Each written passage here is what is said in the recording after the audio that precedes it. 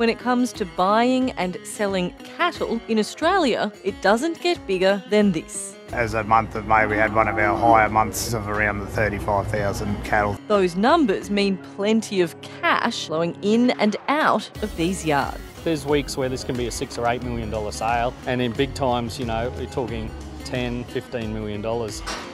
They're trying to package the animals to fetch the best price overall. I tell people it's like a bag of Skittles. You get all the colours coming off the truck, and then we sort them out. Or on the much bigger end of the scale, commercial farming operations, which send hundreds of cattle, often thousands of kilometres, on road trains. The auctions themselves happen quickly. Pen by pen, all is said and done in about 30 seconds. There are around 200 sale yards across the country. Rain or no rain, the show must go on. And it does here in Roma every week.